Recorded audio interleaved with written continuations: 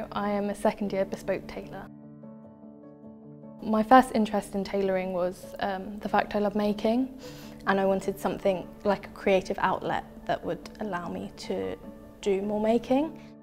I love the fact that there's um, a creative license in tailoring that allows you to create something um, unexpected and mess around with tradition a little bit.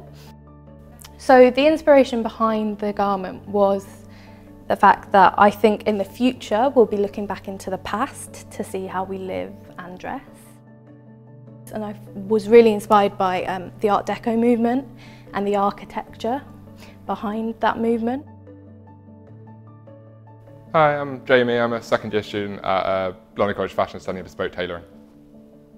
Uh, personally, what I love about tailoring the most is kind of, it's not like the norm. I kind of think it's like, it's not like a trend it's kind of an ongoing thing. I think you don't have to like change it so much. It's kind of like little tweaks. You can have your standard garment and it's all made very similarly, but then you can like just mash it up with kind of like design and art. Hi, my name's Josh. Um, I'm a second year student at London College of Fashion and this is my outfit. The inspiration behind my designs was um, I wanted to merge uh, furniture and interior design with bespoke tailoring and I, I used like the Chest Chesterfield sofa as an inspiration for like the back of my jacket. I kind of delve into the, uh, the fashion theory that a 60 year cycle um, that um, things, uh, well, styles, colours, cuts kind of come back. And that's what I did in my designs with like the wide shoulders, wider lapel and the mustard, which was trending uh, earlier this year as well. So it's quite on trend. so uh, my name is William Chilito. Uh, I'm from Sheffield and I'm a student at London College of Fashion, studying bespoke tailoring.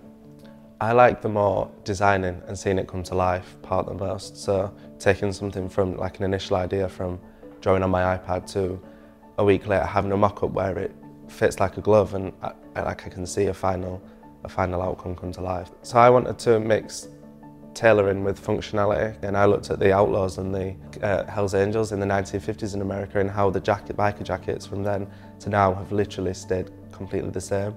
The belts, the fastenings, the pockets, everything's been the same. So I wanted to mix the form of the tailored jacket with the functionality of a biker jacket, of how it's so functional. At the, at the start of last year, I wasn't too focused on the fabrics. I was like more of the techniques. But once I'd worked with nicer fabrics and 100% wool ones, I was like, why was I buying cheap ones? Because they're so much easier to work with, to press, to fit even onto a person. When, when they've got it on, it, I think it just looks completely different now and I kind of regret being a little bit skimpy last year and trying to spend my student loan elsewhere, not on fabric. Hello, my name is Seungye Kim. I'm a second year student on bespoke tailoring course at London College of Fashion. For me, uh, technical tailoring skill is my first interested in tailoring. I like uh, hand stitching. Uh, even when I make a buttonhole by hand, uh, I really feel a sense of achievement. So my project is making reversible jacket.